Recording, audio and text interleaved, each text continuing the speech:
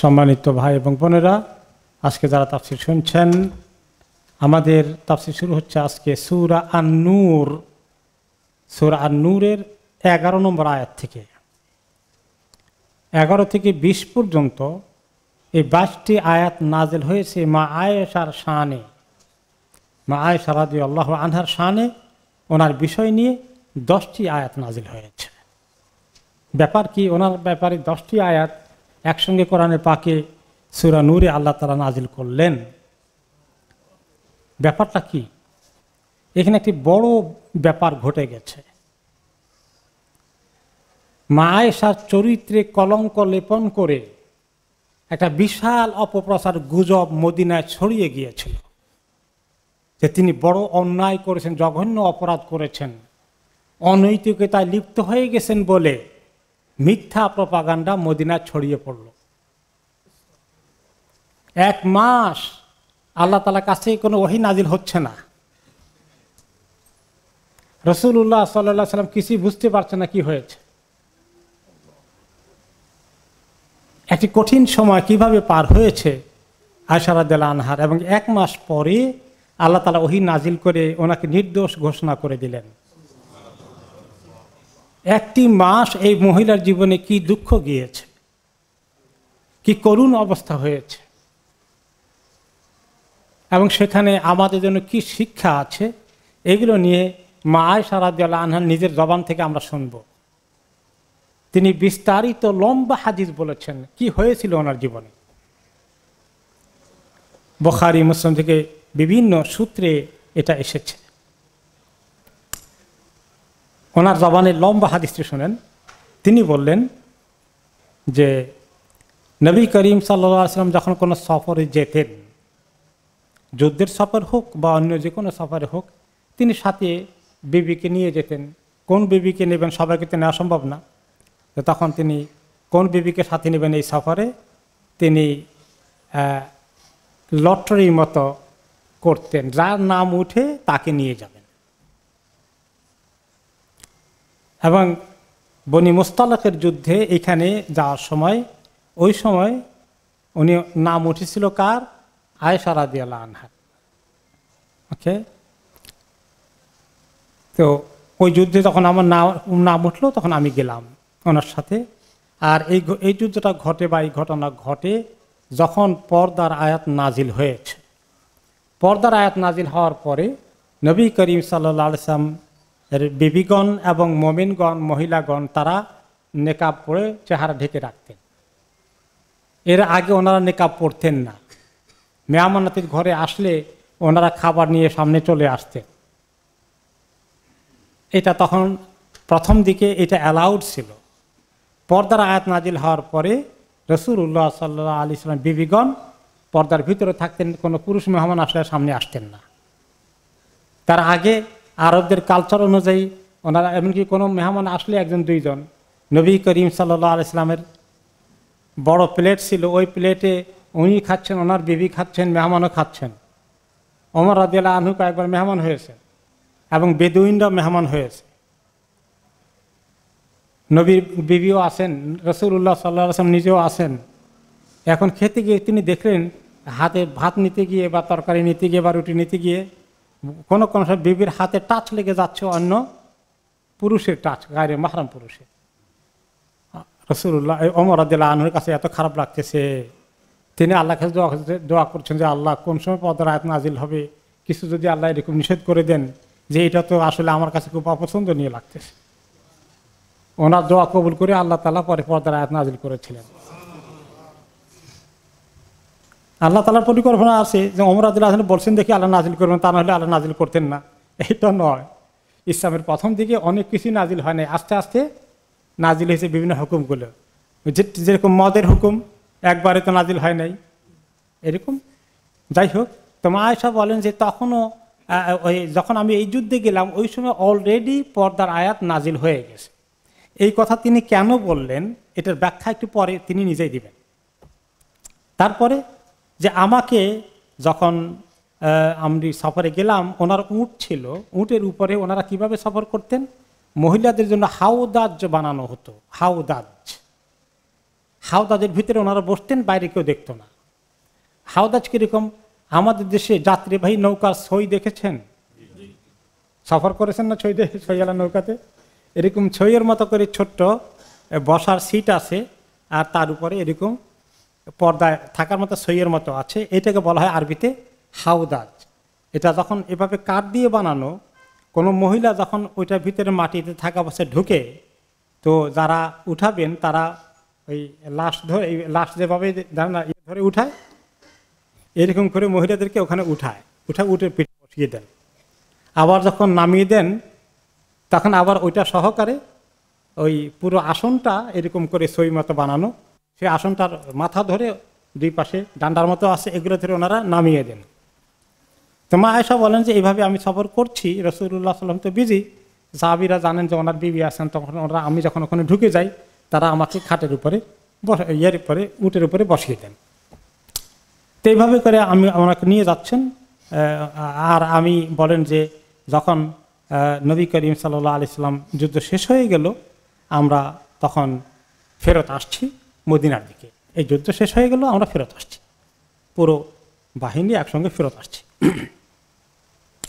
যখন আসতে আসতে, তো কয়েকদিনও লেগে যায় অনেক সময়, মদিনায় প্রবেশ করার আগের দিন রাত্রে তিনি বললেন রসুল্লাহ সাল্লাহ আলী আসাল্লাম যে তোমরা আজকে রাত্রে আমরা সফর করে ফেলব, তোমরা রেডি হয়ে যাও সবাই গাড়ি বসকা নিয়ে, আমরা মদিনার দিকে চলে যাব। এরপরে মানে যাত্রা বিরতি করছিলেন আর কি মদিনার আগে এখানে যাত্রা বিরতি শেষ, আমরা এখন রওনা করে দিব। তো ওই সময় আশা রাজা বলেন যে তারা রওনা করছে, কিন্তু এই সময় আমার যেটা হলো, একটু আমার কাজায় হাজত দেখা দিল। প্রকৃতির ডাকে সাড়া দিতে হবে। তা আমি একটু দূরে গিয়ে চোখের আওড়া গিয়ে ওনারা তখন এভাবেই সেরে নিতেন। একটু কোনো জায়গায় উঁচু কিছু আছে, তার বাইরে ওনারা প্রয়োজনীয় কাজটা সেরে নিতেন। তো আমি এটা কাজ সেরতে গিয়েছি, এটা সেরে আসছি, এসে আর যখন সবাই রওনা হয়ে যাচ্ছে, আমি এখন জলদি করে ঢুকবো আমার হাওদাজের ভিতরে, সাহাবিরা আমাকে উঠাবেন। তো আমি শেষে গিয়ে দেখি যে আমার গলায় হাত দিয়ে দেখলাম, গলার একটা হার আমি বড় করেছিলাম মানে কি করে, হাওলাত নিয়েছিলাম আমার বোন থেকে। ওনার এক বোন থেকে এটা তিনি হাওলাত করে পড়তেছিলেন। ওইটা কোন জায়গায় পড়ে গেছে আমি খেয়াল করি নাই। আর সবাই দিকে এখান রওনা হয়ে যাচ্ছে। তা আমি কি করলাম? চট করে একটু একটু গোলাম যে যেখানে আমি প্রকৃতির ডাকে সাড়া দিতে গিয়েছিলাম, ওখানে চলে যাই, ওটা খুঁজে বের করে নিয়ে আসি, তাড়াতাড়ি ওনারা এসে ওনাদেরকে ধরে ফেলব আমি। একটু দূরে ছিল বিদায়, ওনারা আসতে আসতে অলরেডি উনি আসতে আসতে তারা অলরেডি সবাই রওনা হয়ে গেছে। এখন ওনার যে খাট আছে বা ইয়ে আছে সিট আছে ওইটা তো ওই জায়গায় যেখানে রাখার সেখানে আসে তো তারা দুই দিক থেকে দুইজন খাটিয়ার মধ্যে এভাবে যেভাবে ধরে ধরে ওই দিক থেকে দুইজন, এদিক থেকে দুইজন, তার চারজনে উঠিয়ে নিয়েছেন। ওই খালি খালি সিটটা উঠিয়েছেন। মানুষ যে এখানে নাই, ওনারা টের পান নাই। তা আপনারা প্রশ্ন করবেন, একটা মানুষ থাকলে তো ওজন হয়। টের পাইল না কেমনে? মানুষ না থাকলে তো হালকা হবে। তো তিনি সেটার ব্যাখ্যা দিচ্ছেন। তিনি বলেন যে তারা মনে করছেন আমি ভিতরে আছি। কেমনে মনে করলেন? যে ওই সময় মহিলারা আসলে আমাদের সমাজে বেশ হালকা পাতলা ছিল। বেশ হালকা পাতলা ছিল, যার ফলে আমরা ওই সময় আমার শরীর, আমি নিজে অনেক হালকা পাতলা ছিলাম, ওনার তখন বয়স তো একটু কমও, আর এত শরীরে কোনো চর্বি ফ্যাট জমেনি, যার ফলে তিনি একটু শুকনো টুকনাও ছিলেন, যে আর চারজনে উঠিয়েছে। তো চারজনে উঠাইলে তো এখন এত ভার বেশি না কম ওনারা বুঝতে পারেননি। আর নবীর বিবি, ওনারা তত্ত্ব তারা সকল জিজ্ঞাসা করেন আপনি আসেন ভিতরে নাকি নাই? এগুলো তো কিছু জিজ্ঞাসা করেন না সবাই যাচ্ছে, উনি রেডি হয়ে বসে আছেন। এই ভাব করে ওনারা উঠে ফেলছেন। কিন্তু উনি যে নাই, তারা খেয়াল করেননি। এরপরে তিনি বলেন যে, যখন আমি তারা চলে গেল, আমি হাতটা পেয়ে গেলাম, আবার আমি যখন আসলাম, এসে দেখি যে কেউ নাই। আল্লাহ এখানে কেউ কাউ ডাকলেও শুনবে না জবাব দেওয়ার কেউ নাই কেউ নাই, কোনো মানুষ নাই। তখন আমি কি করব? আমি তো এখন এক মহা দুশ্চিন্তায় পড়ে গেলাম।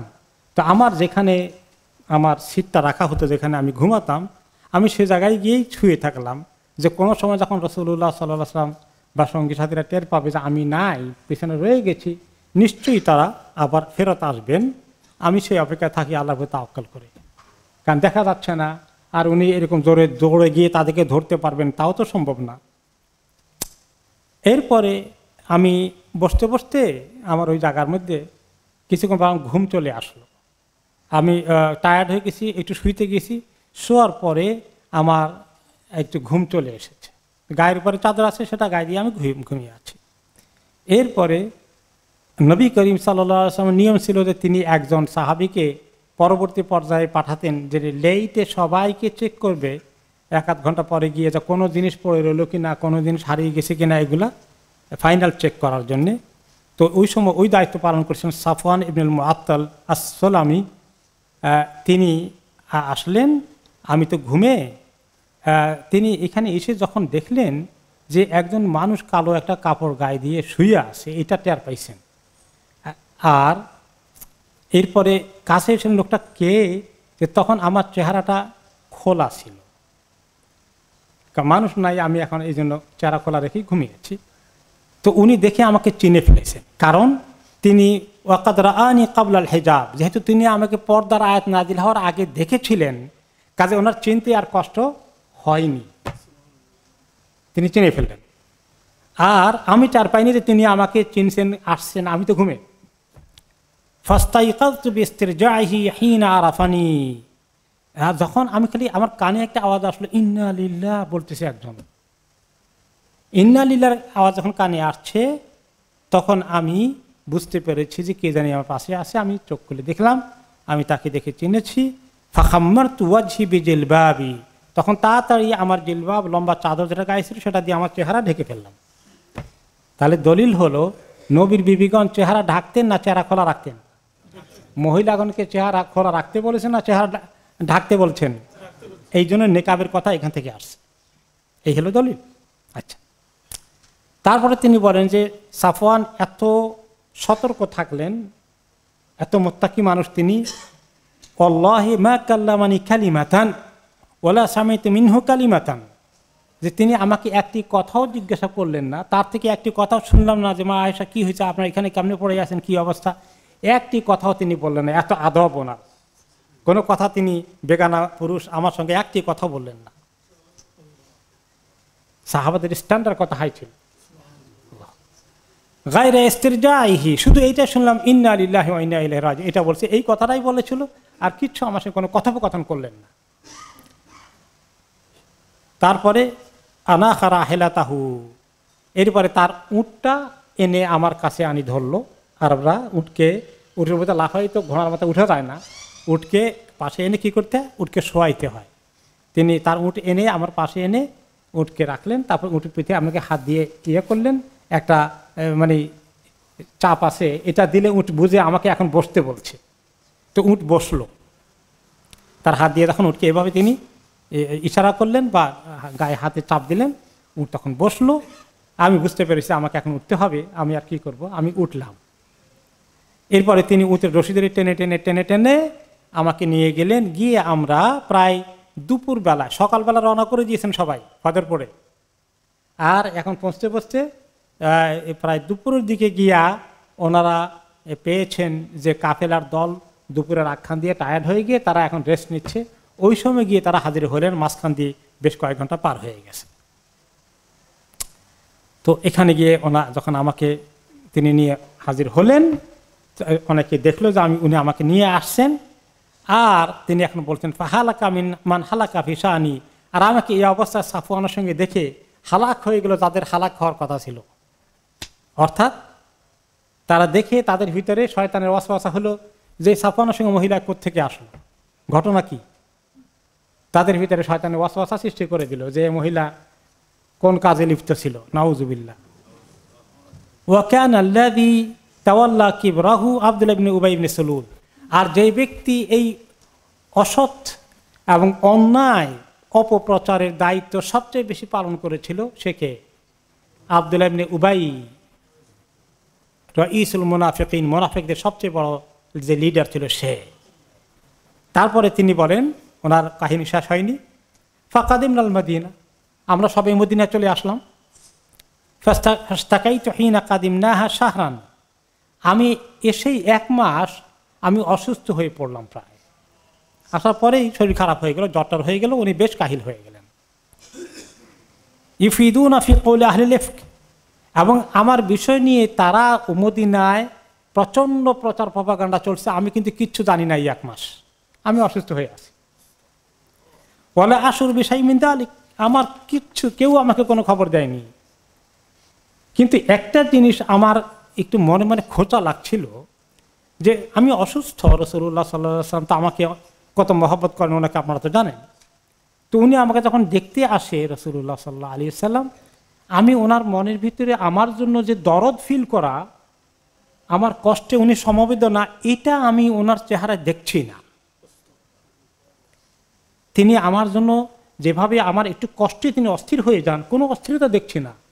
তিনি কেমন জানি এটা আমার একটু একটু মানে খোঁচা লাগছিল, ব্যাপারটা কি? উনি দেখি মনে মানে ভেরি ড্রাই ওনার কোনো আমি আবেগ ইমোশন দেখছি না। ব্যাপারটা কি? এর দূর, এর বেশি আমি আর কিছু বুঝি নাই। এসে শুধু জিজ্ঞাসা করতো, আমার অসুস্থ অবস্থায় কাইফাতি কম কেমন আছো? কেমন আছো তুমি? বাস, এর বাইরে আর একটা কোনো কথা নেই। তারপর চলে যেতেন। তো এটা আমাকে একটু সন্দেহ দিত, ঘটনা কি? কি হইল? কোনো খারাপ কিছু, কোনো কিছু হচ্ছে কি না, আমি তো কিছু বুঝতে পারছি না। এরপরে আমি যখন একটু সুস্থ হয়ে গেছিলাম মাসের শেষের দিক থেকে তখন আমি একদিন রাতের বেলায় আমাদের, আমার একটু বাইরে যাওয়া লাগবে। হ্যাঁ? প্রকৃতির প্রয়োজনে সাড়া দেওয়ার জন্য। তা আমরা তখন ওনারা বাইরে যেতেন, বাড়ির বাইরে যেতেন। ঘরের ভিতরে টয়লেটের ব্যবস্থা ছিল না মদিনায়, ওই সমাজে। একটু বাইরে যেতেন এবং সেখানে মহিলারা এই জন্য রাতের বেলায় যেতেন শুধু। দিনের বেলা ওনারা যেতেন না, তিনি নিজে বলছেন ওয়াদা আলিকা কাবলা নাত্তাখেদাল কানাফা কারিবান বইতে না যে আমরা তখনও আমাদের বাড়ি বা বাড়ির পাশে টয়লেটের কোনো সিস্টেম, পায়খানা থাকার কোনো ব্যবস্থা এগুলা আমাদের সমাজে তখন ছিল না। সেগুলো হওয়ার আগে নবী করিম সাল্লা সাল্লাম জীবনের শেষ দশায়, শেষ দিকে অবশ্য ওনারা এটা চালু করেছেন। তার আগে ওনারা প্রথম দিকে বাইরে যেতেন এই কাজ সারার জন্য। এই জন্য আমাদের দেশে আগে বলতো টয়লেটে যাব কথাটাকে কীভাবে বলতে জানেন? আমি একটু বাইরে যাব। এটা বলতো কি না আমার মনে আছে আমরা মাদ্রাসায় পড়ি হুজুর আমি একটু বাইরে যাব ক্লাসের মধ্যে। ঠিক আরবিতে বাইরে যাব। ওনারা বাইরে যেতেন। তারপরে ও আমরুনা আমরুল আল আউ্য়াল ফি তানাজ ফিল বাড়িয়া আমরা ওই আরবদের সবার মতোই, আরব দেশে কোনো জায়গায় কোনো টয়লেটের, পায়খানার কোনো কনসেপ্ট ছিল না। সবাই বাইরে যেত প্রাকৃতিক প্রয়োজনে সাড়া দেওয়ার জন্য। আর আমরা তখন চিন্তা করতে হবে, বাড়ির ভিতরে টয়লেট হবে, একদম ঘরের কাছে হবে, এইটা কেমন? এটা তো খুব গান্ধা জিনিস। এরকম ছিল আরবদের রুচি তখন। যেটা অনেক দূরে হবে, বেশ দূরে হবে। এবং পর্দার কারণে, মহিলারা লজ্জার কারণে, দিনের বেলা যাব রাতের বেলা যাব। আল্লাহ ওনারা কীভাবে ম্যানেজ করতেন লাইফ ইয়া তারপর বাড়িতে রাত্রে বেলায় আমি একদিন যখন আমার এরকম হাজর দরকার হলো, আমি বললাম, আমি এবং উম্ম মাস্তাহ। উম্ম মাস্তা ওনার এক মহিলা, ওনার খাদেমার মতো, ওনার বা আত্মীয় হন। তিনি বলেন যে উনি হচ্ছেন আমার বাবা আবু বকরের ইউনো খালা পর্যায়ের মহিলা। আবু বকরের রাজিয়াল্লাহ আনুর খালার মতো হন আর কি। ওই মহিলা, তো উনি আমার সঙ্গে থাকেন, আমাকে সঙ্গ দেন, সময় দেন, আর অসুস্থ অবস্থায় বিশেষ করে আমাকে লুক আফটার করেন। আর ওনার ছেলে হচ্ছে মেস্তা ছেলের নাম হলো মেস্তা ছেলের মা হলেন উম্মে উম্মে মোস্তাক যিনি মা আয়েশার খিদমত করতেন। তো ওনাকে নিয়ে একলা মহিলা মানুষ তো আমরা বাইরে যান সাথে একজনকে নিয়ে যাই, ওনাকে নিয়ে গেলাম। এরপরে ওখানে যখন আমার প্রয়োজনের কাজ সারলাম, তা আসার পথে ওই অন্ধকার রাত তো, ওই যে মহিলা আমার খাদে মা, উম্মে মেস্তা মেস্তার মা, উনি নিজের গায়ের কাপড়টা, পর্দার কাপড়টা পায়ে লেগে পেঁচিয়ে একটু মানে পড়ে গেলেন। হ্যাঁ একটু পায়ের মধ্যে খোসা লাগে কাপড়টা উনি একটু পড়ে গেছিলেন। পড়ে মহিলা একটু সামান্য ব্যথা পেয়েছে। ব্যথা পেয়ে তিনি বললেন তা এসা মেস্তা মেস্তা ধ্বংস হোক। ওনার ছেলেকে বলতেছেন। মেস্তা হালাক হোক মেস্তা মেস্তা বরবাদ হোক। তো মা আসে বলেন বিশে মা করতে এটা খারাপ কথা বলেন। ছেলেকে এভাবে বাদ করতে হয় নাকি? আপনার ছেলেকে এরকম কথা বলেন কেন? তুসে বিনা রাজুলান শাহিদা বাদরান, আরে মেস্তা, সে মুসলিম এবং সে বদর যুদ্ধে আবার অংশগ্রহণ করছে যোদ্ধা হিসাবে। তো আপনার ছেলে বদর যুদ্ধে গেছিল। তো বদর যুদ্ধে যারা গেছে, তাদের তো আলাদা শান আছে। কোরআন শরীফ আল্লাহ তালা তাদের প্রশংসা করেছেন। তো এমন একটা ছেলে ব্যাপারে আপনি এরকম খারাপ করে তাকে বদ করতেছেন, এটা কেমন কথা? ফকাল হেনা তা আলম তাসমিমা কাল? আহারে বেচারি মহিলা, এখনও তুমি শুনো নাই সে কি আকাম করেছে? কি কথা বলেছে সে? তোমার বিরুদ্ধে কি অপপ্রচার করছে তুমি শোনো নাই? কিন্তু আমার কাল? আমি বললাম, কি বলছে আমার বিরুদ্ধে মুস্তা কোন কোন কাজ অপপ্রচার করেছে সে? উনি তো কিছু জানেন না। কেউ ওনাকে বলেনি। তখন তিনি আমাকে পুরো ঘটনা বললেন। তোমার বিষয় এই কথা গোটা মদিনার বাজারে রটে গেছে। টক অফ দ্য টাউন তোমার দান ইলা মারাদি। তিনি বলেন, আহারে, আমার অসুস্থতা এবারে তুঙ্গে উঠে গেল এই কথা শোনার সাথে সাথে। আমার অসুস্থতা কয়েক গুণ বেড়ে গেল। ফলাম্মা রাজা তুইলে বাইতি। ঘরে যখন আসলাম, তারপরে রেস্ট নিলাম। এরপরে যখন রসুল্লাহ সাল্লাম এরপরে আমাকে যেভাবে ডেইলি দেখতে আসেন, দেখতে আসলেন, সালাম দিলেন। সালাম দিয়ে একই কথা, কাইফা তিকুম কেমন আছো তুমি? এর বাইরে কোনো কথা নেই। তা আমি আর জবাব না দিয়ে বললাম আবাওয়াই? আপনি পারমিশন দিলে আমি একটু আমার আব্বা আমার ঘরে বেড়াইতে যাই। ওখানে থাকি কটা দিন। আমার শরীরটা খারাপ হয়ে গেছে। তিনি কিছুই বলছেন না। না রসুল্লাহ সাল্লাম বললেন, না মা আয়সা কিছু বলতেছেন ওনাকে। খাবার মিন কেবালিহিমা আমি শুধুমাত্র এই উমে মেস্তাতে মা থেকে যা শুনলাম, আমি আবার আব্বা আমার কাছে গিয়ে শুনব ভালো করে ঘটনা কি হয়েছে। ওনার কি পরিমাণ পেরেশানি হতে পারে আপনারা চিন্তা করেন।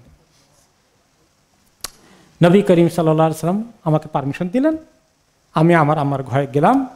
গিয়ে বললাম, ইয়া উম্মাতা, ও মা লিমাদা ইয়া তাহাদ্দাসুন্নাসুবিহি কি জিনিস নিয়ে? কেন এগুলাম লোকেরা কি কথা বলে? আমাকে বলেন। ফাকার আই বুনাই হাউনি আলাইকি। তো এখন মেয়ের অবস্থা থেকে মার কেমন লাগছে? মা তো জানেন। মনে করছেন মেয়ে এখনও জানে না যত যতক্ষণ না জানে ততক্ষণ মেয়ের কষ্ট কম হবে। জানলে তো মেয়ের কষ্ট বেড়ে যাবে। ইয়া বুনাইয়া হাউনি আলাইকে। মা, তুমি একটু থামো, অস্থির হইও না। বাবা, একটু থামো, মা, একটু থামো।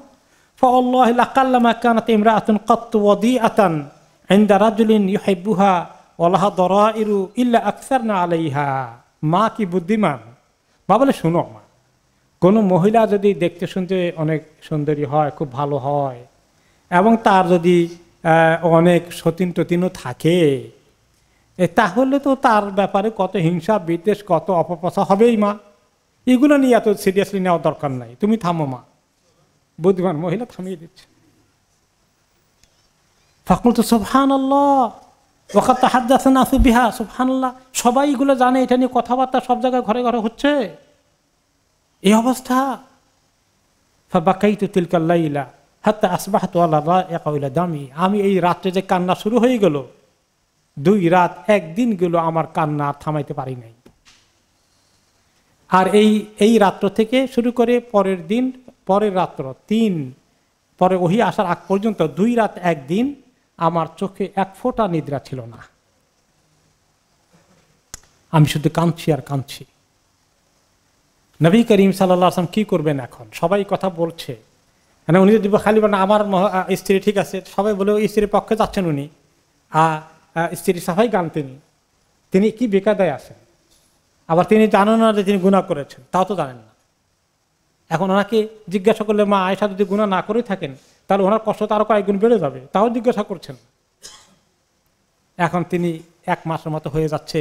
রসুল্লাহ সাল্লাহ এত বেকাদায় আসেন ওনার বেবিকে নিয়ে এরকম কথা এক মাস ধরে হচ্ছে। আপনি চিন্তা করেন, এত বড় সম্মানিত নবীর কি অবস্থা হতে পারে? তিনি এখন নিরুপায় হয়ে গেছেন মনে হয় আল্লাহ তালা ওহি নাজিল করছেন না। আল্লাহ তালা ওহি নাজিল না করলে তার তিনি জোর করে ওহি নামাতে পারবেন না।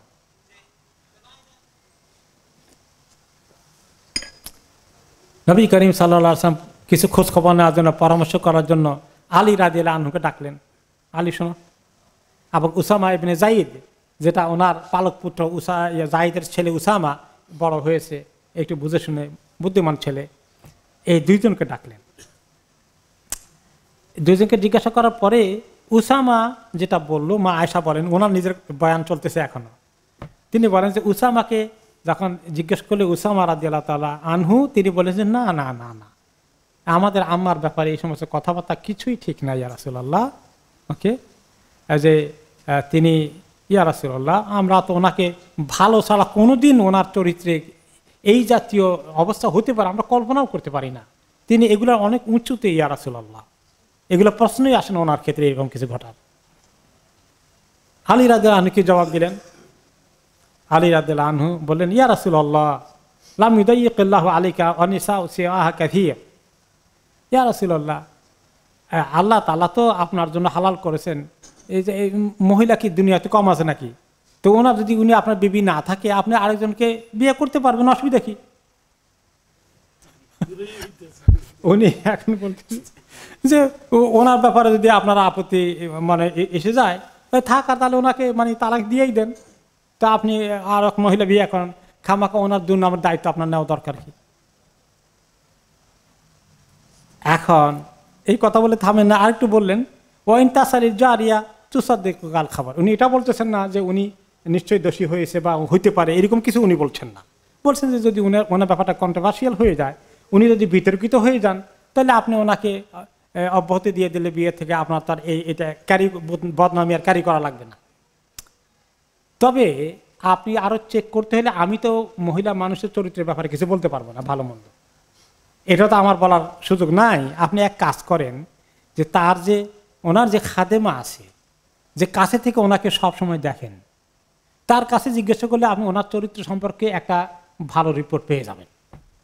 সো বেটার আপনি তার খাদেমাকে ডেকে জিজ্ঞাসা করেন। এই বুদ্ধিটা খারাপ দেয়নি অবশ্য। তো রসুল্লাহ সাল্লাম ওনার খাদ্য খাদেমা ছিলেন বাড়ির রাজি আল্লাহ আনহা, তাকে ডাকলেন, ডেকে জিজ্ঞেস করলেন, হাল রাইতি মিন শাইন ইরিবুকি মিন আয়েশা? বলো তো দেখি, তোমার যতটুকু আয়েশাকে দেখেছ, তার চরিত্রে কোনো ধরনের উল্টাপাল্টা কিছু ঘটার মতো মহিলা কি না? তুমি আমাকে একদম ক্লিয়ার একটা রিপোর্ট দাও। তোমার কোনো সবার সন্দেহ হয়েছে যে ওনার চরিত্রে এই জাতীয় কোনো স্বভাব থাকতে পারে? এই জাতীয় কিছু কোনো সময় তুমি লক্ষ্য করেছ? ফকর আতলাহু বোরাইরা অবারিরা ওল্লাদিবা আসা কাবিল হাক্কে ইন রাইতু মিন আমরেহা, মিনহা আমরান কাত্ত আগ মেসুহা আলাইহা। আকসারা মিন আন্নাহা জারিয়াতুন হাদিহাতু সেন। ইয়া রাসুল্লাহ আমি ওনার জীবনে এমন কোনো এই জাতীয় কোনো কাণ্ড দেখিনি যে ওনার চরিত্রের ব্যাপারে কোনো প্রশ্ন করা যেতে পারে। তবে শুধু একটা জিনিস আমি ওনার খেয়াল করছি, একটু অসতর্কতা দেখেছি একটা। সেটা কি? আন্না জারিয়াতন হাজি সাথে হোসেন বয়স কম তো, উনি তো একটু বয়সের দিক থেকে কম। এখন রুটি বানানোর জন্য যখন আটা বানায়, আটার মণ্ড তৈরি করে রাখে, ওইটাকে মণ্ড তৈরি করতে করতে রুটি বানানোর আগে এখন ওনার ঘুম চলে আসে অনেক সময়। তো মণ্ড বানাতে বানাতে ঘুমিয়ে গেছে। এদিকে এসে ছাগল এসে মাঝে মাঝে রুটি, ওই মণ্ড থেকে রুটি খাই আটা খাই ফেলে। এর দূর দেখছি অসতর্কতা এর বাইরে আর কিছু দেখি নাই। ফাকাম রাসুল্লাহ সাল্লামিন ইয়াউমিহি। নবী করিম সাল্লাহ সাল্লাম সেদিন বুঝতে পারলেন যে না, কোনো খারাপ নেগেটিভ রিপোর্ট তো পাওয়া যাচ্ছে না। তো আলী রাদেলা আনু যে একটুখানি প্রথমে বলছি যে মহিলা তো অনেক আছে বিতর্কিত হলে রাখবেন কেন? এটা মা আশা রাজুল জীবনে ভুলতে পারেন নাই। অনেক কষ্ট পেয়েছেন। এবং আলী রাদেলা আনহুকে তিনি মানে এটা সহজে ছেড়ে দেন নাই, মাফ করেন নাই।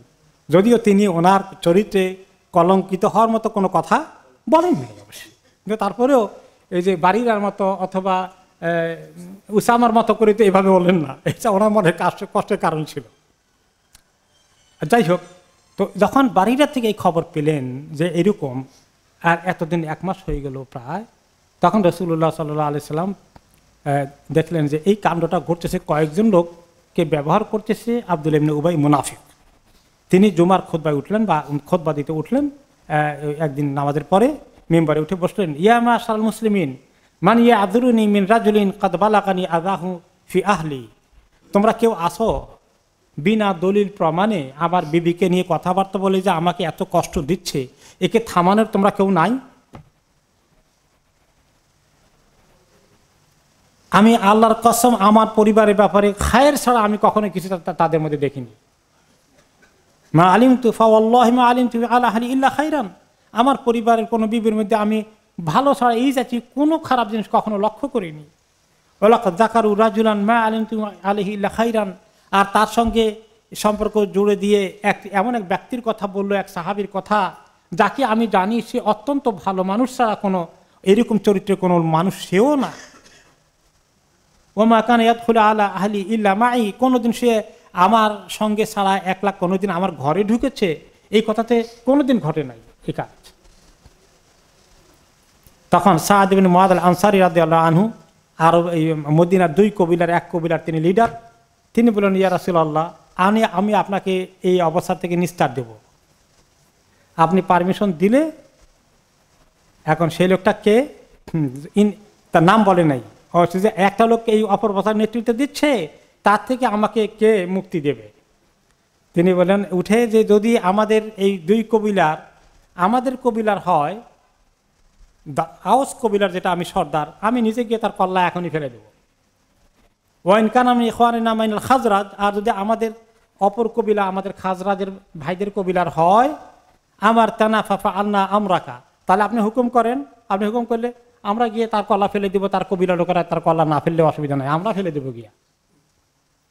তখন ইবনে ওবাদা যিনি আরেক কবিলা সদার তিনি বলেন, আরে বাবা, তুমি আমাদের উপর মাতবরি করো আবার। তার কল্লা ফেলতে তো আমরা ফেলব, তুমি কে বেটা?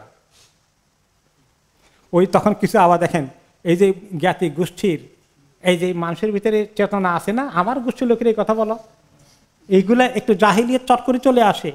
ওই সাহাদ, যে সাহাবি লিডার উনিও তো ভালো সাহাবি, কিন্তু সাহাবি হলে কি নবী হয়ে গেছেন নাকি? ওই তো কিছু দুর্বলতা থাকে, থাকতেই পারে। তো সাহাবিদের ভুল হয়েছে না হয় নাই? হয়েছে। সাহাবিদের ভুল হয়েছে। তো কিন্তু ওনারা আবার সংশোধন করে ফেলতেন, ভুলের উপর টিকে থাকেন না। পরে আবার সংশোধন হয়ে গেছে। যাই হোক। তো মা- আয়সা বলেন, ওই যে সাহাবি যে একটু চেতে উঠলেন এই অর্থে এই নয় যে তিনি দুর্বল মনা ছিলেন, দুর্বল ইমানদার ছিলেন তা না। ওয়াকান রাজুলান সালেহান। ওলাকিন ইহতামালাতুল হামিয়া। উনি মানুষ, অনেক নেককার মানুষ। কিন্তু এই মুহূর্তে একটু জাতীয়তার একটু গোষ্ঠীর একটু বংশের একটু ইয়া জাহেরিয়ত খাড়া দিয়ে ফেলেছিল। একটু উস্কানি চলে এসেছিল। হুম। এরপরে যাই হোক, শেষ পর্যন্ত ওনাদের মধ্যে একটু তর্ক হলো, পরে উনি থামছেন। এরপরে নবী করিম সাল্লাহ আলী ওয়াসাল্লাম জিনিসটাকে আর ওখানে বাড়তে দেননি। ওকে দুই দুই কবিলার মধ্যে মোটামুটি একটুখানি রেশারেশি সৃষ্টি হয়ে গেছিল। আমাদের সর্দারকে এভাবে বলল, উনি, আমাদের সর্দারকে এভাবে বলল ওনাদের তর্ক বিতর্ক নিয়ে তারাও আবার দাঁড়িয়ে গেছে। তাহলে এই যে বংশ নিয়ে এখনও মারামারি হয় এখনও দুই বংশের মধ্যে মারামারি হয়, মাঝে মধ্যে এগুলো হয়ে যায়। এগুলো ওনাদের মধ্যে কিছু ঘটিয়ে আল্লাহ তালা আমাদের জন্য এক্সাম্পল রাখছেন যে কিছু ঘটলে মনে করো না যে এটা একেবারে খারাপ। শয়তান মানুষকে যে কোনো সময় একটা উসিলা দিয়ে গোসবাসা দিতে পারে। যাই হোক নবী করিম সাল্লাম থামালেন তাদেরকে, "এই তোমরা থামো থামো, খবরদার। এটা নিয়ে তোমরা বাড়াবাড়ি করো না। উভয় গ্রুপকে তিনি থামালেন।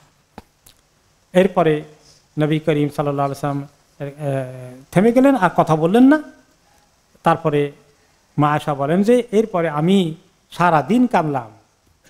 আমার কান্না চোখের পানি থামে না থামে না। একটু ঘুমোতে পারি না। আমার মা বাবা, আমার চিন্তায় এত অস্থির। আহারে, আমার মেয়েটার কলজা ফেটে যাবে, দুঃখে কষ্টে। আবু বকর এবং তার স্ত্রী মেয়ের জন্য কাঁদতে কাঁদতে। তারপরে বলেন আমার মার মা বাবা পাশে বসে আমার কাছে এভাবে সান্ত্বনা দিচ্ছে, তারা আমাকে ফেলে যায়নি, আমার পাশে বসে আছে। আর এই সময় নবী করিম সাল্লাহ আলী সাল্লাম ওই সময় আমি ঘরে যখন আসি, একজন মহিলা, আনসারি মহিলাদের থেকে একজন মহিলা আমাকে দেখতে পারমিশন চাইলো যে আমরা কি মা আশাকে দেখতে পারি কি না ওনাকে পারমিশন দিলেন আমার মা বাবা এবং তিনি আসলেন। এসে মহিলা আমার একটু ওনার মানে সঙ্গীর মতো, সই বলে যে মহিলাদের, এই মার্কা ছিলেন আর কি, যে উনি আমার সঙ্গে আমার দুঃখে অনেকক্ষণ কাঁদলেন আমার সাথে। তো একজন মহিলা যখন দুঃখ কষ্ট থাকে আরেকজন তার পাশে এসে, সেও যদি কাঁদে, মহিলাদের একটু ভালো লাগে।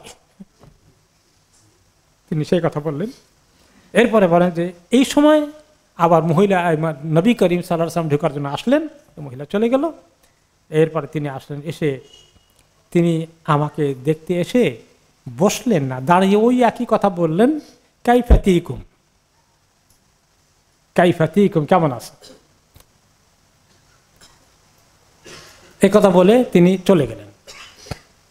আ, না বল না। তিনি এসে থামলেন এসে একটি মাস চলে গেছে এখনও ওনার কাছে ওহি আসে নাই। তিনি এখনও তো নিজেই বুঝতে পারছেন না যে আল্লাহ তালা আমাকে না জানেন তা আমি বুঝব না। যারা বলে আল্লাহ নবী গায়েব জানেন, এখানে কি প্রমাণ হয়? গায়েব কে জানেন? আল্লাহ তালা উনি গায়েব জানেন না। উনি যদি গায়েব জানতে বলতেন, না, খবরদার, সে আমি আমি আমি নিশ্চিত হয়ে গেছি, আমি গায়েব জানি, সে ভুল করে নাই। এটা বলতেন না তিনি? তো এখন উনি এবারে বসলেন, এক মাস তার বসে নেই আমার পাশে, খালি সালাম দিয়ে চলে যায়। এবার আসি বসলেন আমার পাশে। বসে বলে, আম্মা বা ইয়া আয়সা শোনো, একটা কথা বলি আয়সা ফাইন কদবালাকানি আনকি কাদা বা কাদা। আর এর আগে এই পর্যন্ত তিনি বলেন নাই আয়সা তোমার ব্যাপারে এটা শুনছি আমি। কারণ বলি ওনাকে কষ্ট দিতে চান নাই। কেমনে বলবেন, নিজেও থামাবেন কেমনে? কীভাবে লাইন করবেন? তিনি খুব কষ্টে আছেন। তো এরকম কথা আমি তোমার ব্যাপারে শুনছি, তুমি যেটা জেনে ফেলেছো অলরেডি এখন আমার কথা হলো, ফাইন কুন্তি বাড়ি আতান সাইব্রি ইকাল্লাহ তুমি যদি সত্যি নির্দেশ হও আমি আশাবাদী আল্লাহ তারা তোমাকে নির্দেশ ঘোষণা করবেন ইনশাআল্লাহ, আগে হোক আর পরে হোক। ওয়াইন কুন্তি আলমামতি বিদাম্বিন ফাস্তাক ফিরিল্লাহ তুবি ইলাই আর যদি কোনো গুনার কোনো সিদ্ধান্ত নিয়েছিলে, কোনো গুনার ইচ্ছা পোষণ করেছিলে গুণা করেছ, এটা বলেন নাই। কোনো ইচ্ছা, কোনো গুণা করার ইচ্ছা তোমার মনে যদি এসে থেকে থাকে, তাহলে আল্লাহ তালার কাছে তাওবা করে নাও। তিনি কথাটা খুব সতর্কতার সাথে বলেছেন। তিনি কোনো কোনো গুণা গুণা করে থাকলে এই কথা বলেন নাই। কি বলেছেন? আলমামতি। একটি ইঙ্গিত। তাহলে তবা করো। ফাইনাল আবদা ইদা তারফা বিদাম্বিহি ওয়া তাবা তাবা আল্লাহু আলাই কোনো বান্দা যদি কোনো গুনাহ করে ফেলে, আল্লাহর কাছে স্বীকার করে, তাহলে আল্লাহ তালা তার তবা কবুল করে ফেলে তাকে মাফ করে দেন। এই কথা তিনি বললেন। এই কথাটা মা আয়েশার কাছে কেমন লেগেছে? সাল্লাম উনি যখন এই কথা বললেন, আমার চোখের পানি সব শুকিয়ে গেল, মরুভূমি হয়ে গেছে। আমার আর চোখে পানিই নাই। তার মানে কি? অল্প শোকে কাতর, অধিক শোকে পাথর। আমার চোখের পানি শুকিয়ে গেছে হ্যাঁ আল্লাহ নবী আমাকে এরকম কিছু বিশ্বাস করতে পারেন? সন্দেহ সৃষ্টি হয়েছে আমার ব্যাপারে।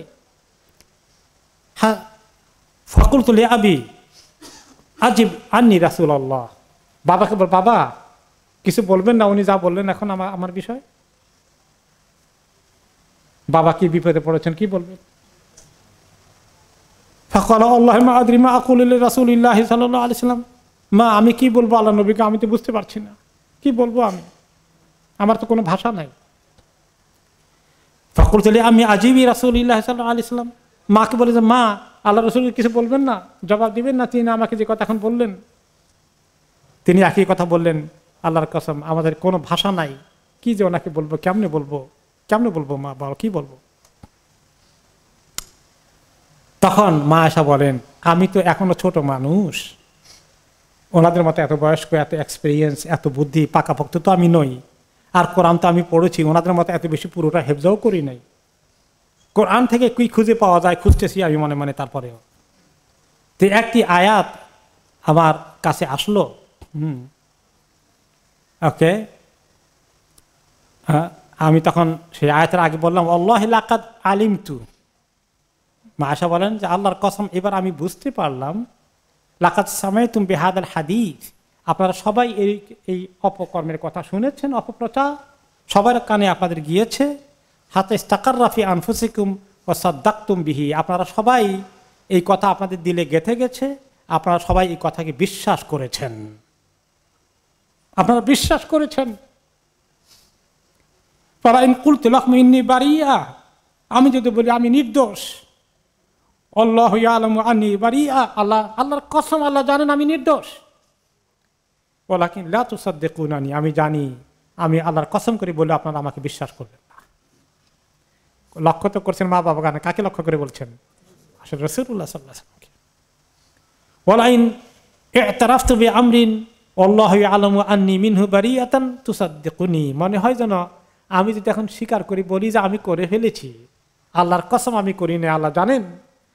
আর তারপরে আমি যদি বলি আমি করেছি এই কাজ, তাহলে মনে হয় যেন আপনারা বিশ্বাস করবেন। আর আমি করিনি এই কাজে বললে, এই কথা বলে আপনারা আদৌ বিশ্বাস করবেন না? আপনারা এই পর্যায়ে পৌঁছে গিয়েছেন। আবেগ ধরে রাখতে পারেন নাই? আবেগের বিস্ফোরণ ঘটে গেছে মা আয়সার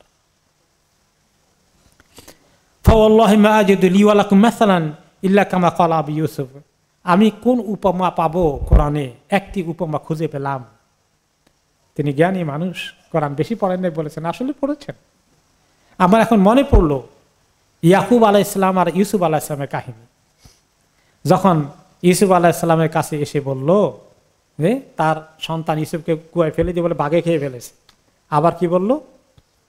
যে এর কথা বনি বিনিয়ামিনের কথা সে কি করেছে? সে চুরি করেছিল ওটা তো তিনি তখন এগুলো মোকাবেলা কি বলেছিলেন? ফাসাবরুন জামিল, আমি সুন্দর তরিকায় সবর অবলম্বন করব। চিৎকার, চেঁচামেচি করে আমি এর প্রতিবাদ করতে গিয়ে আমি সীমা লঙ্ঘন করব না। ফাসাবরুন জামিল। আমি আল্লাহর দিকে তাকিয়ে সবর করব। আনু আল্লাহ তাসেফুন। আল্লাহ তালা সাহায্য করবেন আমাকে এই অন্যায় বিষয়গুলো নিয়ে যেগুলো আমার ব্যাপারে তোমরা আলোচনা করছ। শুধু রসুল্লাহ সাল্লাহ সাল্লাম না, উনি তো এইগুলা কোনো জায়গায় আলোচনা করেননি। যারা করেছে সবগুলোকে সামনে রেখেই স্বয়ং নবী করিম সাল্লাহ সাল্লাম যে এখনও নিশ্চিত হতে পারেননি মা আসার ক্ষেত্রে। আপনারা যা ধারণা করছেন, যা বলাবলি করছেন, আল্লাহর কাছে আমি একমাত্র আল্লাহর কাছে সাহায্য চাই এই বিষয়ে, আর কারও কাছে না।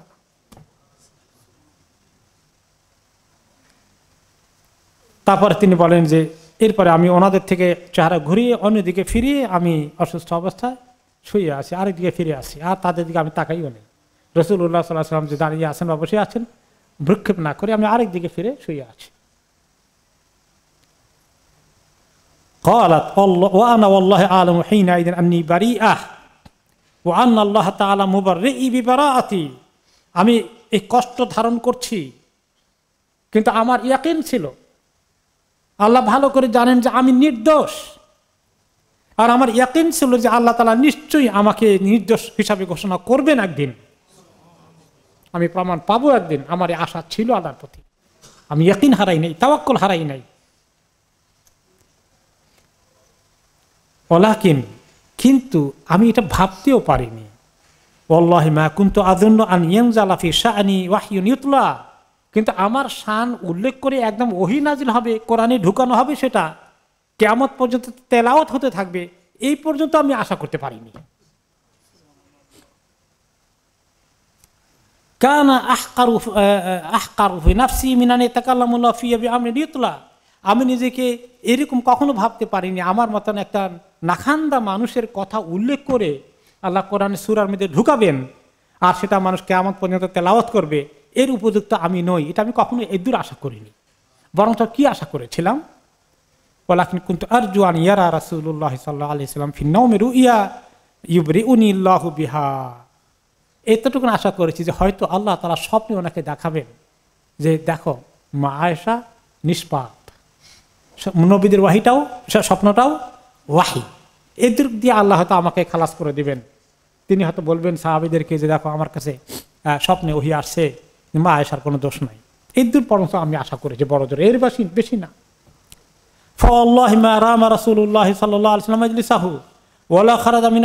আহাদুন। যে তিনি এখনও আমার ঘর থেকে যেখানে বসছিলেন সেখান থেকে উঠেননি। এখনও তিনি এই ঘরের বাইরে থেকে এখনও কেউ বাইর হয়নি। আমার মা, বাবা রসুল সবাই এখনও আসেন ঠিক ওই মুহূর্তে হাত্তা আনজাল্লাহ তালা আলা নবীহি ওই সময় ওনার উপরে ওহি নাজিল হয়ে গেল।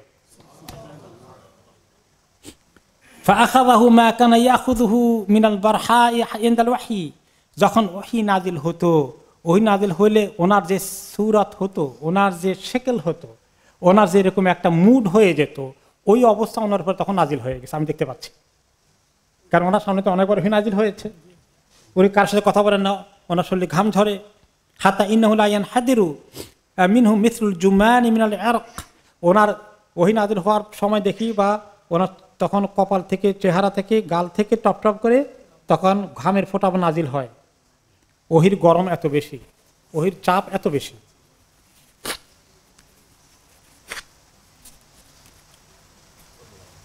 আমি দেখছি যে ওই ফোটা পড়ছে ঘামে এই মুহূর্তে নিশ্চয়ই তিনি ওহি রিসিভ করছেন, ওহি ওনার নাজিল হচ্ছে।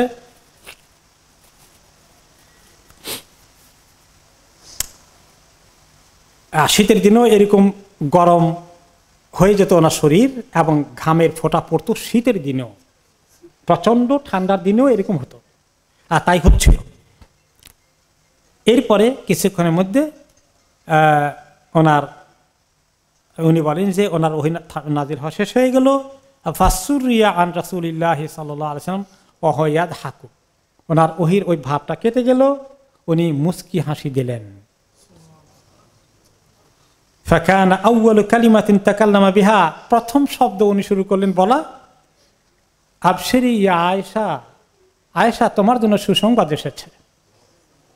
আম্মাল্লাহু আজাল ফাকাত বড় আখি আল্লাহ তালা তোমাকে মুক্ত ঘোষণা করে দিয়েছেন। তুমি বাড়ি উদ্দিমা তুমি নির্দোষ।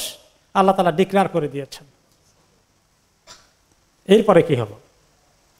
কালাত উনলি উম্মি, এখন আমার মা খুশি বলে আমাকে, কমি এলে উঠো উঠো, নবীর কাছে যাও।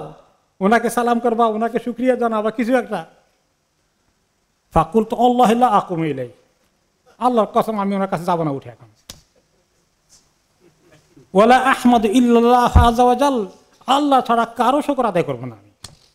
কারও শকর আদায় করব না, আল্লাহ ছাড়া। তার মানে ওনার শকর কেন আদায় করব?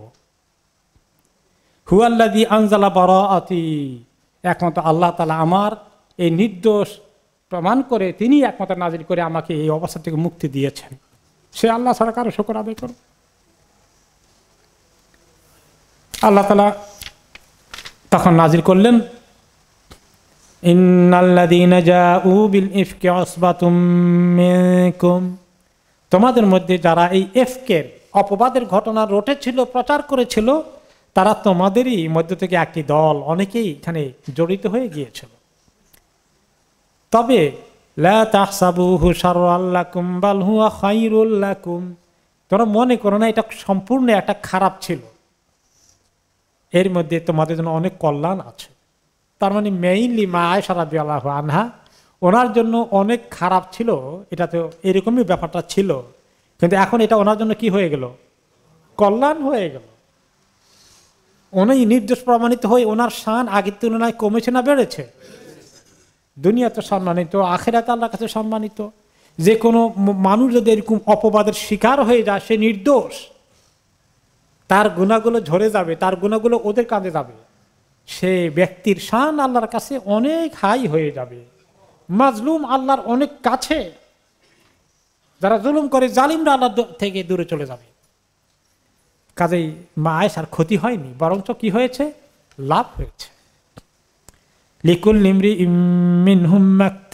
মিনাল এফএম যারা যারা এই অপপ্রচার অপপ্রচারে জড়িত হয়েছিল, বিশ্বাস করেছিল এবং অপপ্রচার করেছিল, তাদের প্রত্যেকের তাদের অবস্থা অনুযায়ী, তাদের পরিমাণ অনুযায়ী গুনার দায়িত্ব তারা কাঁধে নিবে। তারা আল্লাহর কাছে বিপদে আছে। আযাবুন আযীম। আর তাদের মধ্যে এক ব্যক্তি যেটা সবচেয়ে বেশি নেতৃত্ব দিয়েছে, তার জন্য আল্লাহর কাছে বড় আজাব অপেক্ষা করছে। সে ব্যক্তিকে আব্দুল উবাই, রাইসুল মুনাফিকিন। সে আছে।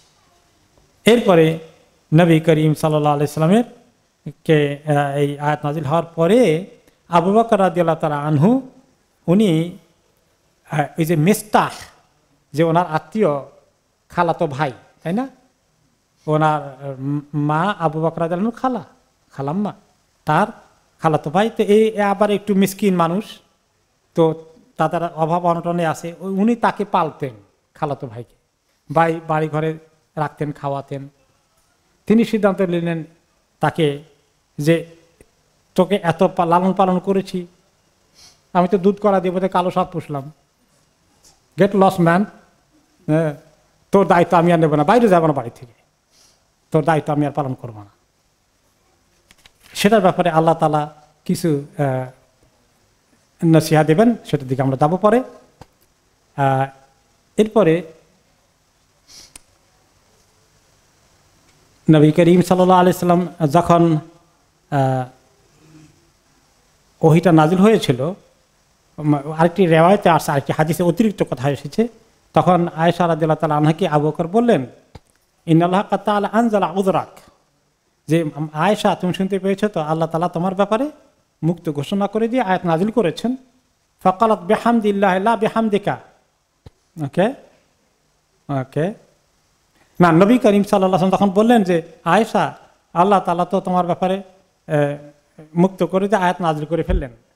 তো তিনি বললেন যে, এখন প্রশংসা শুধুমাত্র আল্লাহর, আপনার কোনো প্রশংসা নাই।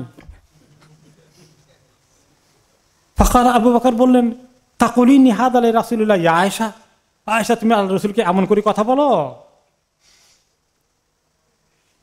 হ্যাঁ? কালাত না হ্যাঁ বলব। ওকে? হ্যাঁ আমি বলব বলছি, আমি বলব। ওয়াকানা ফিমান হাদ্দাস হাদ আল হাদিস, রাজুলুন কানা ইয়াউল হু আবু বকর। তারপরে তিনি বলেন যে এই আমার ঘটনার মধ্যে যারা এই এই রটনায় অন্যতম নেতৃত্ব দিয়েছে, তার মধ্যে একজন ছিলেন আবু বকরের আত্মীয়, আমার পিতার আত্মীয়।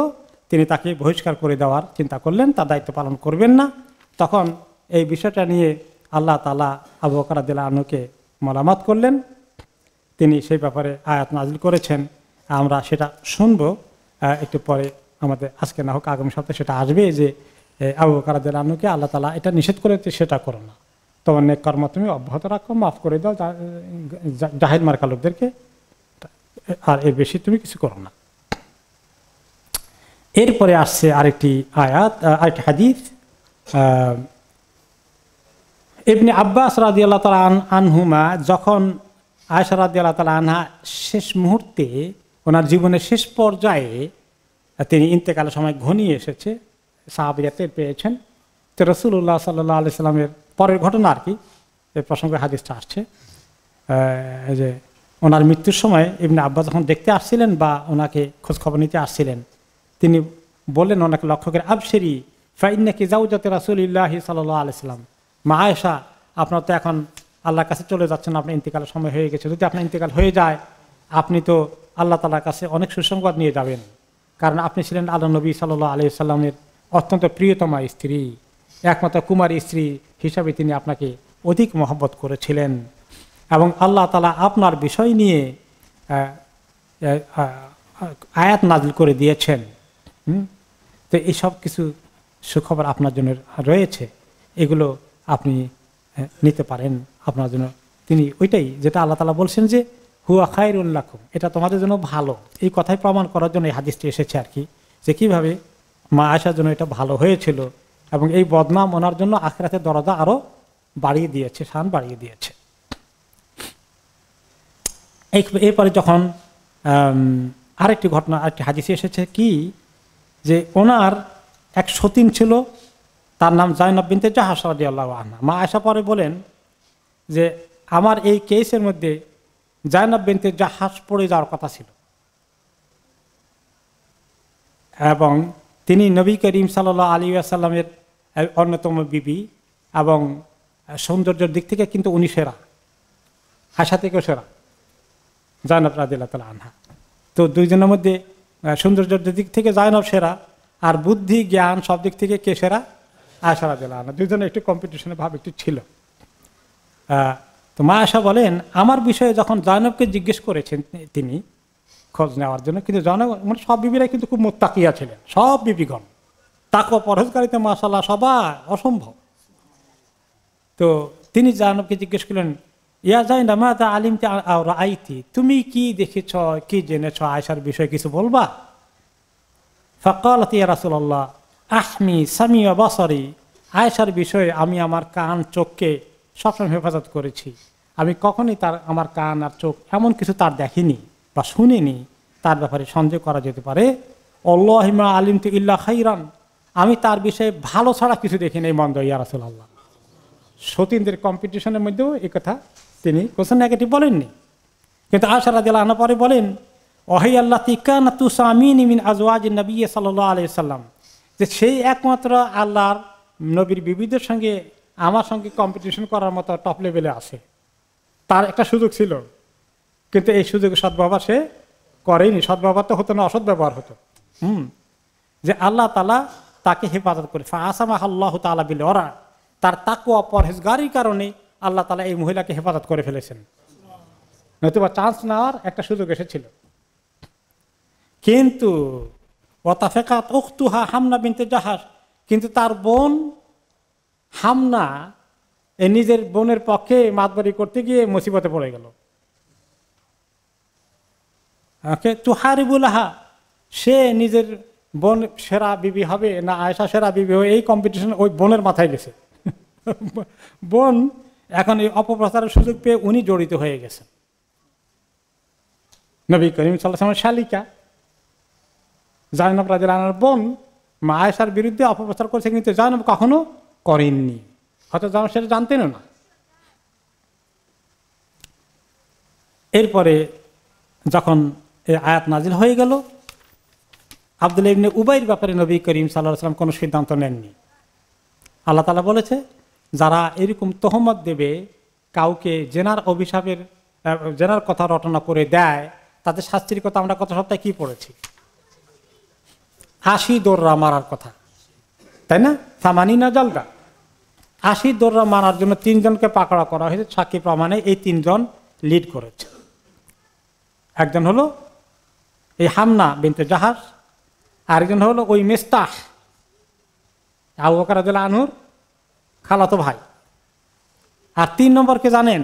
আরেক ওলি আল্লাহ, হাসান এমনি সাবেত রাদি আল্লাহ আনহু, যিনি নবী করিম সাল্লা আসলামের কবি, ওনাকে ডিফেন্ড করেন বাতিলদের মোকাবেলা, কবিতার মোকাবেলা, কবিতার যুদ্ধে তিনি অগ্রগামী। যাকে নবী করিম সাল্লাহ সাল্লাম বলছেন, হাসান, তারা যে আমার বিরুদ্ধে, আমার পরিবারের বিরুদ্ধে কলঙ্কজনক কবিতাগুলো লেখে, এগুলো তুমি জবাব দাও। জিবরিল আলাইসালাম এসে তোমাকে সাহায্য করবেন। এবং তিনি কবিতার জবাব, কবিতা দিয়ে দিয়েছেন, মিডিয়ার জবাব মিডিয়া দিয়ে দিয়েছেন। এবং হাসান রাদিয়াল আনহুর জন্য মসজিদের মাঝখানে একটা মেম্বার বানাইয়া ওনাকে কবিতা পড়াতেন। যাতে এই কবিতা সব মুসলিমরা শুনে, এই কবিতা আরবের ঘরে ঘরে প্রচার হয়ে যায়। নবী করিম সাল্লাহ আসলাম ব্যাপারে যে সমস্ত কলঙ্কজনক কথা ও আগে পরে তারা বলেছে, এগুলো যেন জবাব হয়ে যায়। এত বড় কাজ করেছেন কে? হাসান সাবিত রাদিয়াল আনহু। কিন্তু উনি এই কাজে অপপ্রচার কাজে শরিক হয়ে গেছিলেন। এই তিনজনকে আশি কোড়া মারা হলো। শরীয়তের শাস্তি কোরআনে এসেছে। কিন্তু নবী করিম সাল্লাহ সাল্লাম ওই মোনাফেকেটা ধরেন না। এই কারণে এরা ব্যাখ্যা করেছেন, অনেক ওলামাই কারাম মুফাসিনিকার আলোচনা করেছেন। একটা হলো যে আল্লাহ আল্লাহ তালা এই মোনাফেকের জাহান্নামি যেহেতু জ্বালাবে, দুনিয়াতে শাস্তি দিয়ে লাভ নাই আর। এটা একটা। দুই নম্বর হলো যে তার কিছু দলপল আছে, কিছু মুনাফিক মার্কা লোক, তাদের মধ্যে খামাকা কনফিউশন সৃষ্টি হয়ে যাবে। এই জন্য মাঝে মধ্যে যখন সেই মোনাফিকের ঘটনায় ধরা পড়তো আরও অন্যান্য ঘটনায়, তখন অমর তারা বলতেন ইয়ার আসলে আপনি হুকুম করলে আমি তার কল্লা এখনই ফেলে দিই। তিনি বলছেন থাক। এটা লোকেরা বলবে যে মোহাম্মদ নিজের লোকদেরকে কল্লা ফেলে দেয়, সুযোগ পেলে।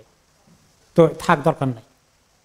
তো এই জন্য উনি সেটাকে ইগনোর করেছেন, কিন্তু এই তিনজনকে তিনি শাস্তি প্রয়োগ করেছেন। এই বিষয়ে এবং এই আয়াত, ওনার দশটি আয়াত নাজিল হয়েছে। আমরা এই আয়াতের মধ্যে এগারো নম্বর আয়াতে আজকে থাকলাম, যে আল্লাহ তালা বলেছেন ওয়াল্লাদি তাওয়াল্লা কিবরাহুমিন হুম যে ব্যক্তি এই সবগুলার বড় দায়িত্ব মাথায় নিয়েছে, লাহু আদাবুন আদিম তার জন্য আল্লাহর কাছে বড় আজাব অপেক্ষা করছে। এই জন্য রসুল্লাহ সাল্লাহ সাল্লাম বলছেন যে, আল্লাহ যখন বড় আজাব দিবে, আমি ছোট আজাব দিয়ে লাভ নাই আর। থাক, আল্লাহর কাছেই পাকছে তো এইখানেই এগারো নম্বর আয়াত শেষ হয়েছে। আগামী সপ্তাহ আমরা বারো নম্বর আয়াত থেকে নেব ইনশাআল্লাহ।